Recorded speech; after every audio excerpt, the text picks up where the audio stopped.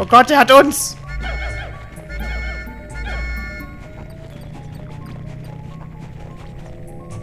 Oh, ist das ein nerviges Drecksviech.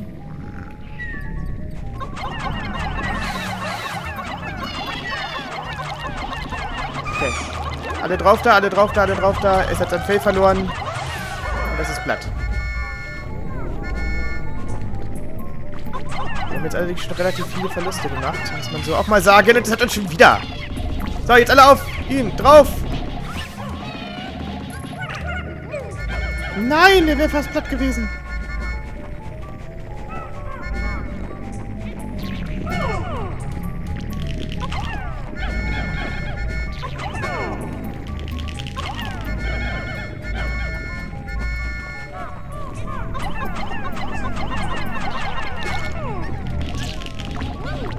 Jetzt alle drauf! Jawoll! Kacktes Scheißviech. Okay, ich stelle mich mal hier hin. Die kommt jetzt mit den Gifties nach.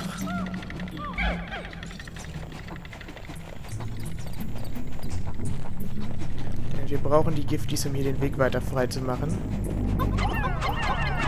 Das ist schon wieder so ein fliegendes Kackteil. In Pikmin 1 haben die ja noch die Pikmin geschnappt und wieder eingepflanzt. Hier scheinen die wohl nur den Captain zu schnappen, also uns in diesem Fall. So, dann grabt ihr mal... Oh Gott. Grabt ihr mal kurz nicht. Da brauchen wir alle Pikmin für. Vorher können wir hier das Gift aber noch kurz wegmachen. Okay, da geht's weiter.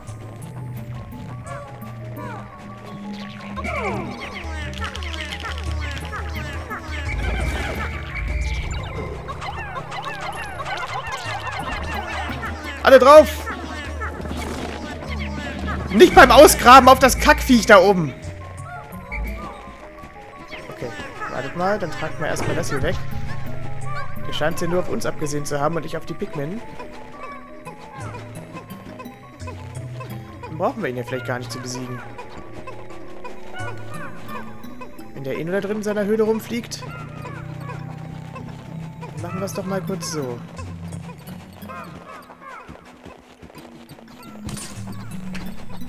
Nektar! Trinken, meine Pikmin, trinken!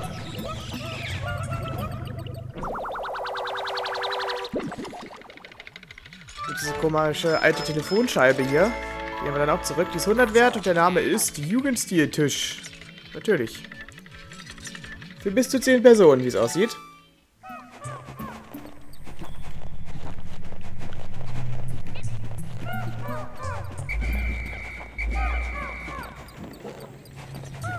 So, alle da.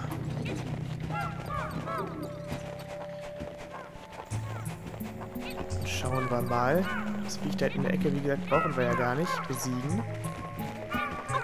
Machen wir uns lieber direkt um den hier. Drauf da! Mach den platt! Aus Versehen habe ich gesühnt jetzt. Aber er ist zumindest erledigt.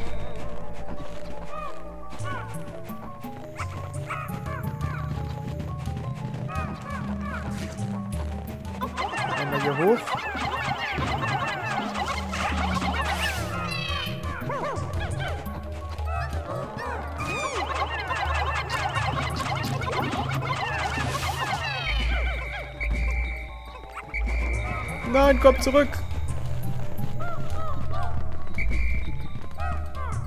Ah, da hinten ist das Klebeband.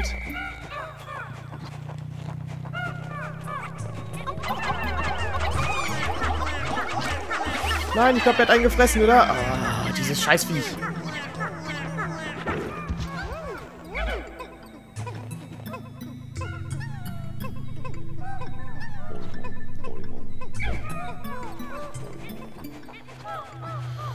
Okay. Ich will ja gar nicht hoch.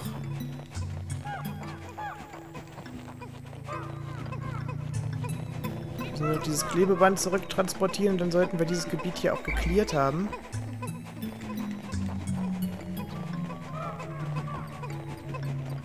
Wir können dann weitergehen. Moment. Achso, Ja, die Zahl da dran stimmt natürlich nicht ganz. Es keine 56. Es sind 16 plus 4 lilane. Und damit sind das die 20, die uns noch fehlen.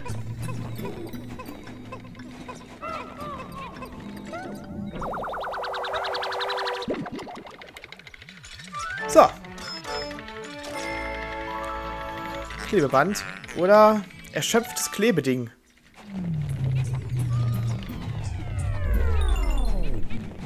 Und damit diese Ebene auch schon mal geklärt. Allerdings neun Pikmin Verlust gemacht. Ich weiß nicht, wie viele Ebenen das Ding haben wird. Auf jeden Fall könnte das tatsächlich enger werden. So, tiefer vordringen.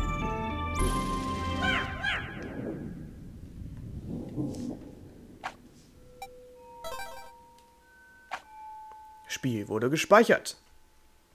Mysteriöses Gebiet, Sublevel Nummer 2.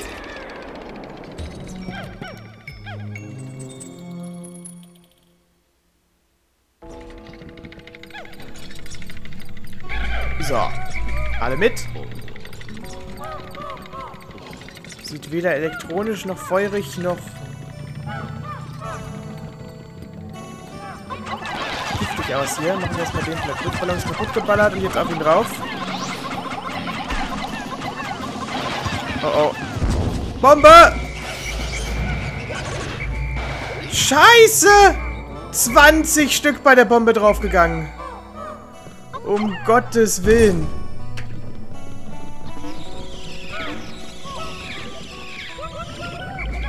Ja, das können wir eigentlich schon vergessen. Dieses, diese, dieses Gebiet ist nicht mehr schaffbar für uns jetzt im aktuellen Zustand. Ach, das Ding wirft diese Bomben. Ich verstehe, deswegen ist die eben dann noch plötzlich losgegangen. Jetzt auf gleich.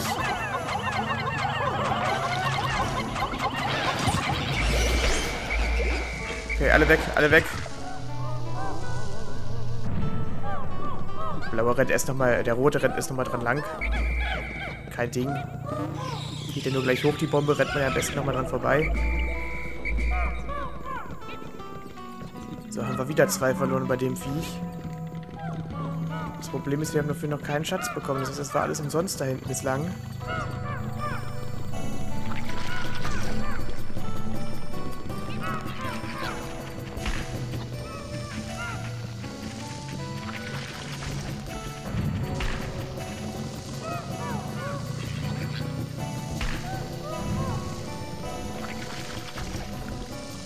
Kann sich damit nicht selbst mal in die Luft sprengen? Nee, leider nicht.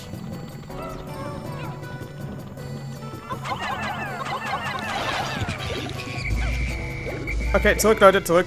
Zurück. Super. Also gleich 40 von unseren 100 Pikmin sind tot. Oh, das ist wieder so ein, dass sich Pikmin schnappt und nicht uns. Interessant, das da hinten ist jetzt auch tot. Super. Nur noch 62.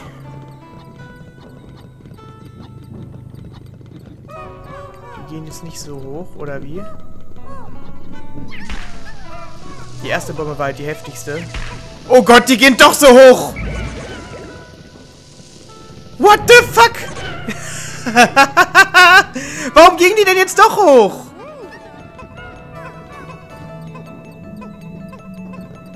Hä?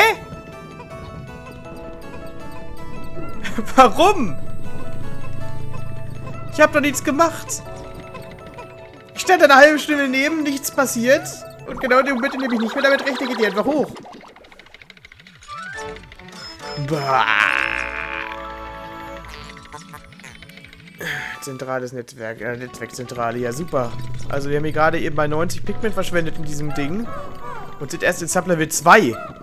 Das Ding wird mindestens 7 haben. Könnt mich alle mal. Wir haben nicht mal mehr genug Pikmin, um das Ding nach Hause zu transportieren. Dann sage ich auf Wiedersehen. Wir können leider nichts mehr tun, meine Liebe. Können wir das irgendwie verlassen?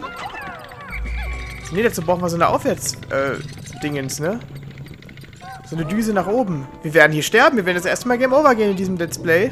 Aber wir können nichts dagegen tun. Wir können nicht mal mehr alle Dinger schleppen, weil wir nur noch 16 Pikmin haben. Und wir haben auch nicht genug zum Nachtransportieren. Das heißt, wir müssen jetzt irgendwie uns gleich wieder vermehren. Und das ist doch alles scheiße, ist das. Werde jetzt einfach so lange hier durchrushen, bis ich entweder gestorben bin oder bis ich eine Fontäne nach oben finde. Diese Bomben sind ja mal mega asozial gewesen. Na sicher, und dann kommen ja auch gleich diese Riesensteinspucker. Das hier wäre dann das Feuerlevel.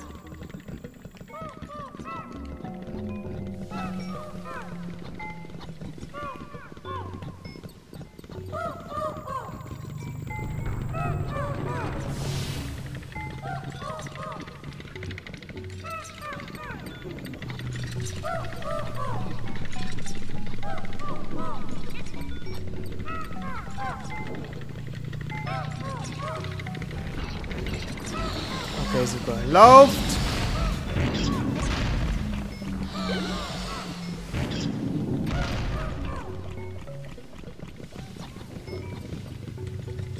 Ja, da kann man mit 15 Pigmen nicht viel machen. Selbst wenn ich die alle besiegen würde, hätte ich dahinter wahrscheinlich eh nicht genug Pigmen, um, das, um die Schätze zum Raumschiff zu tragen. Also, ich rush jetzt hier einfach so lange durch, bis ich hoffentlich eine Fontäne nach oben finde. Und dann machen wir den Rest hier beim nächsten Mal. So viel zu, das können wir alles in einem Tag schaffen. Mhm. Leck mich. oh, da ist eine Blüte für sind sogar zwei weiße Blüten. Da sind sogar drei weiße Blüten und da ist eine Fontäne nach oben. Vielen Dank.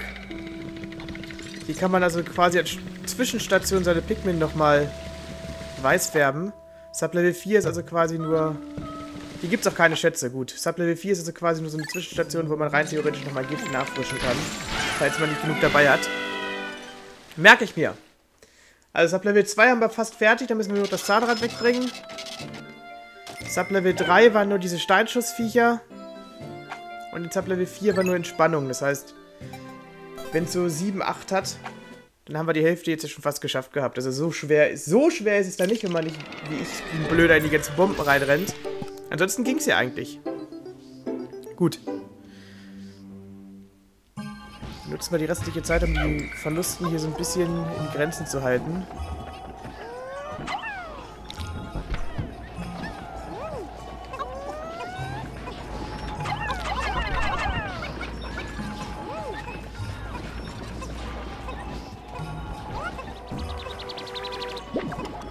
Weiß haben wir natürlich am meisten verloren. Und die da, ne? Ja, vor allem die Weißen, aber 20 Stück von mitgenommen. Wie viele haben wir jetzt noch? Zwei! Oh Gott! Wir haben nur noch vier Weiße. Okay, gut, dass das eine weiße Station ist. Und Level 4, das waren ja, glaube ich, drei weiße Blüten. Das heißt 3 mal 5. Wir können auf jeden Fall mindestens 15 Weiße danach produzieren. Und in Level 1 müssen wir nicht mehr viel erkunden. Da müssen wir nur noch den Eingang freischaufeln. Fuck. Das kann nicht wahr sein. Ich wollte gelb oder rot, kriegt beide Male blau. Ah. Scheiß Viecher. Tragt schneller, ich habe keine Zeit. Doch, wir haben genug Zeit, aber ich will keine Zeit mehr haben. Eigentlich wollte ich jetzt schon auf dem Weg sein zum zweiten. Also, wenn man hier raus bin aus dem Ding, wollte ich eigentlich auf dem Weg sein zum zweiten Dingens. Und wieder ein blaues, das gibt es einfach nicht.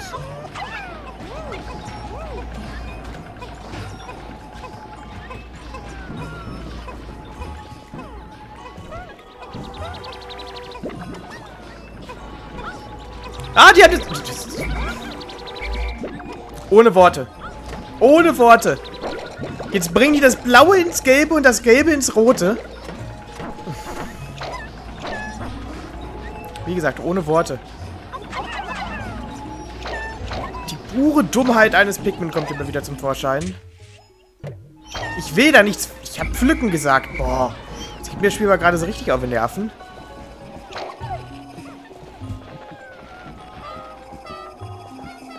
So, rennen wir hier noch einmal rum, schnappen uns auf den Zehner da vorne. Und dann sagen wir auf Wiedersehen zu diesem schlimmsten Tag in unserer Pikmin-Karriere. Wenn wir das Ende von Pikmin 1 mal außen vor lassen. Aber wie gesagt, wir, beim nächsten Mal geht es ja eigentlich. Wir müssen ja in dieser Bombenexpedition müssen wir eigentlich nur das Zahnrad wegschleppen, dann haben wir ja alles. Also in dem Raum, in dem fast alle gestorben sind. Und dem ersten Raum, wo wir die Giftpigmen brauchen, die wir jetzt ja leider nicht mehr so haben. Wir kriegen wieder blau! Das kann nicht wahr sein! Wir haben nur rote und gelbe Pigment da und wir wollen auch keine blauen haben. Und das Einzige, was wir aus jeder komischen Knospe rausbekommen, sind blaue. Haben jetzt sechs Knospen zerstört und davon sind fünfmal blaue dabei gewesen.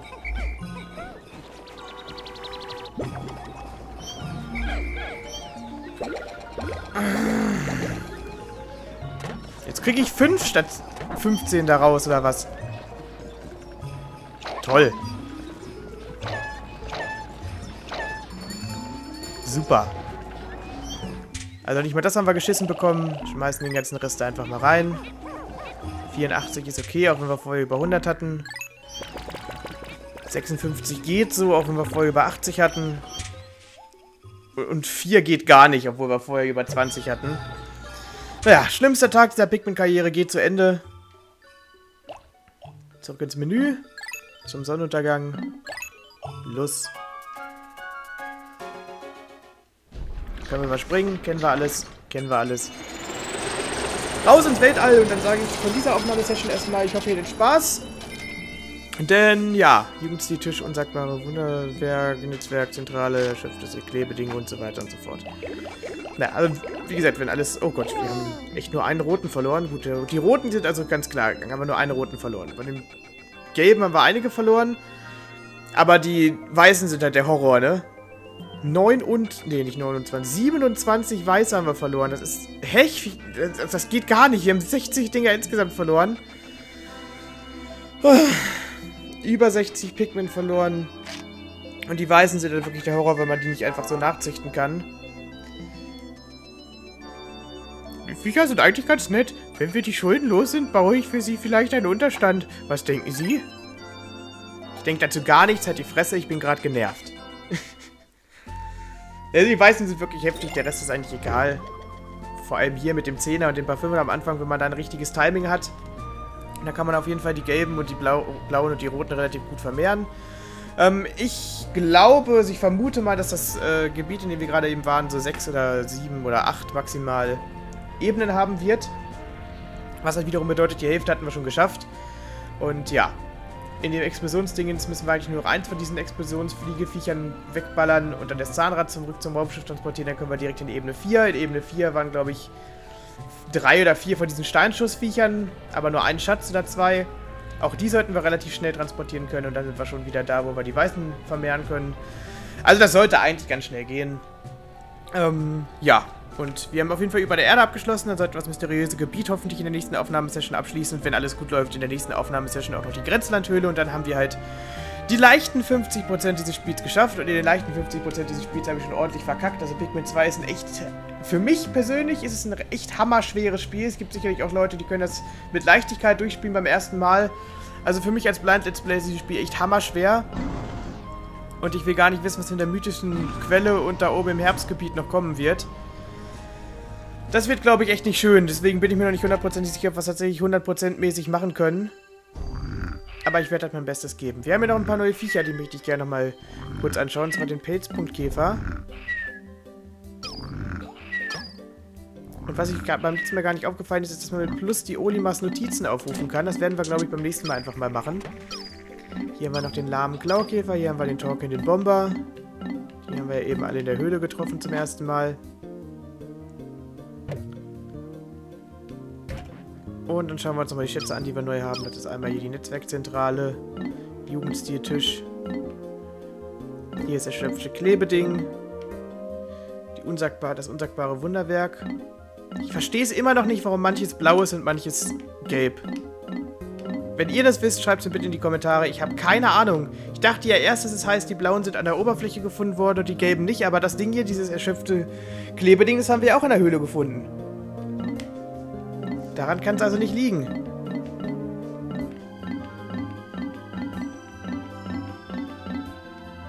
Diese stachelige Leckerei haben wir, glaube ich, schon zwei von gefunden, ne? Mindestens.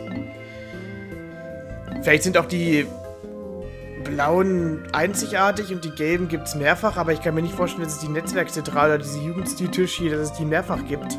Die sind die auch sehr einzigartig aus eigentlich. Na, ich weiß es nicht. Wie gesagt, wenn ihr es wisst, schreibt es in die Kommentare. Mich würde es wirklich sehr interessieren. Warum jetzt manche Sachen halt gelb sind und manche blau. Hm. Egal. Wir schauen uns beim nächsten Mal das Journal von Olimar, äh, von Olimar dazu an. Und gehe ich einfach zurück zur Gebietswahl und sage, ich hoffe, ihr hattet Spaß. Schaltet doch beim nächsten Mal wieder ein. Könnt ihr noch mal ein bisschen was Feedback zur Mikrofonqualität da lassen, aber wie gesagt, wartet damit am besten noch mal ein paar Tage, bis äh, ihr euch dran gewöhnt habt, weil Menschen sind Gewohnheitstier und so weiter und so fort. Habe ich am Anfang schon gesagt von dieser Aufnahmesession. Ähm, Mikrofonqualität sollte jetzt auf jeden Fall besser sein, wenn ich es nicht komplett verkackt habe. Wir sind soweit durch. Ja, bis zum nächsten Mal.